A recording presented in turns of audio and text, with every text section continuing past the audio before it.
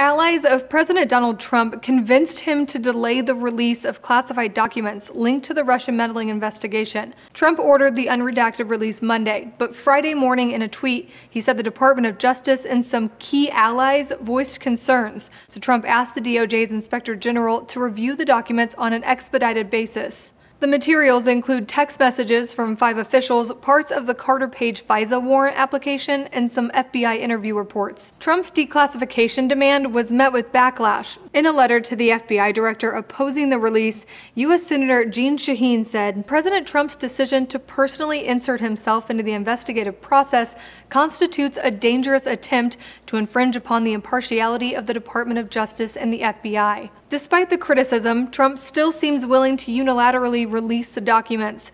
In his tweet Friday, he said he hopes the DOJ Inspector General will act quickly. He added, In the end, I can always declassify it if it proves necessary. Speed is very important to me and everyone.